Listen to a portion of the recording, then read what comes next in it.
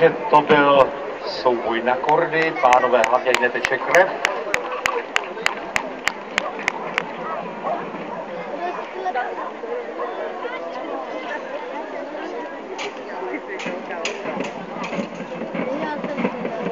Teď tady vidíme dva duely na kordy.